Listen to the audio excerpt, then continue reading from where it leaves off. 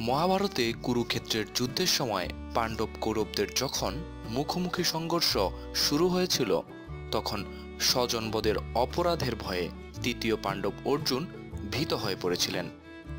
তখন ভগবান শ্রীকৃষ্ণ অর্জুনকে বিশ্বরূপ দর্শন করিয়েছিলেন এবং তার ভয়কে জয় করার জন্য কিছু মহামূল্যবান উপদেশও দিয়েছিলেন।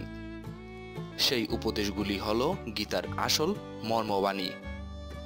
গীতা হল হিন্দুদের প্রধান ধর্মগ্রন্থ। এটি সারা বিশ্বেরও একটি অন্যতম প্রধান ধর্মগ্রন্থ। এখানে লেখা আছে নানা দার্শনিক কথা।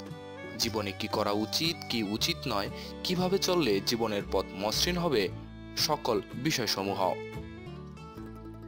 চলুন ভিউয়ার্স আজকের পর্বে জেনে আসি, গীতায় লেখা আছে এমন দুটি জিনিস, যেই দুইটা জিনিস ত্যাগ করলে আপনার জীবনে সুখ অবশ্যম্ভাবী।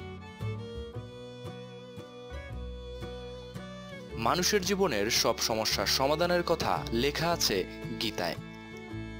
সেখানে বলা আছে, জীবনে যদি সুখী হতে চাও, তাহলে দুটি জিনিস অবশ্যই ত্যাগ করতে হবে, তাহলেই সুখে থাকতে পারবে। দুটি জিনিস হলো লোভ এবং ক্রোধ। এই দুটি দোষ যার মধ্যে থাকবে, তার পতন অনিবার্য। লোভ। লোভ হলো মানুষের একটি স্বভাবগত চাহিদা। সেই চাহিদা কখনো খাবারের জন্য, কখনো বা টাকার জন্য। লোভের জন্য মানুষ কি না করে? আপনজনকে প্রাণে মেরে ফেলতেও দ্বিধাবোধ করে না। মানুষ বেশিরভাগ ভুলও অপরাধ করে লোভে পড়েই। অনেক ক্ষেত্রে দেখা যায়, বিষয় সম্পত্তির জন্য মানুষ তার মা বাবাকে পর্যন্ত হত্যা করছে। মানুষ যখন একের পর এক জিনিস পেতে শুরু করে, তখনই তার লোভ দিনে দিনে বাড়তে থাকে।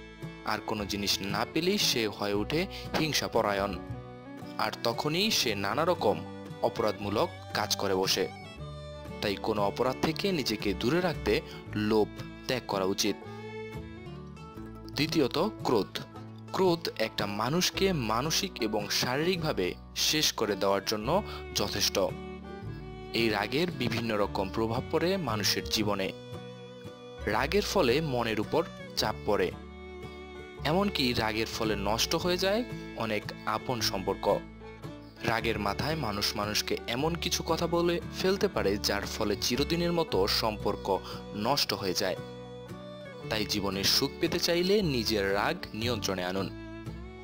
কেউ রাগ হওয়ার মতো কোনো কথা বললে নিজের মেজাজ ঠান্ডা রেখে তার উপযুক্ত উত্তর দেওয়ার চেষ্টা করুন। মনে রাখবেন, এই দুটো জিনিস যদি আপনি আপনার জীবন থেকে পরিত্যাগ করেন, তাহলে আপনার জীবন হয়ে উঠবে সুখময়। পরিবারে শান্তি বজায় থাকবে, মন ভালো থাকবে, ব্যবসা বৃদ্ধি পাবে, ফলে অর্থপ্রাপ্তি ঘটবে এবং আপনি হয়ে উঠবেন একজন সুখী মানুষ।